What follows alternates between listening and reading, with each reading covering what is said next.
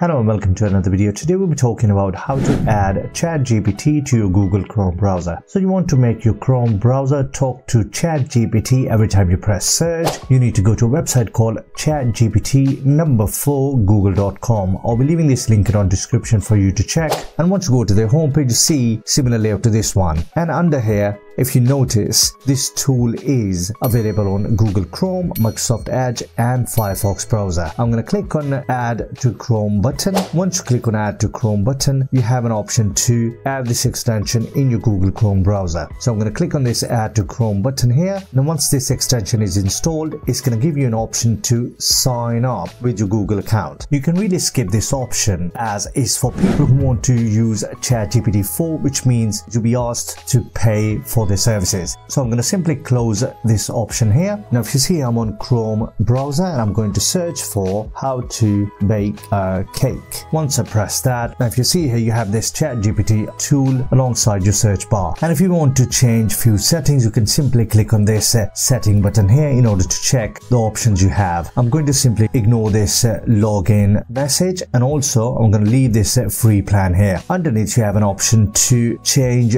theme from light to dark and I'm going to make that text size to large. And if you see here, your text size has become large. Question of the day is which AI tool you use in order to get some help when you search on Google Chrome. Thanks so much for watching. Take care and hope to see you in the next video.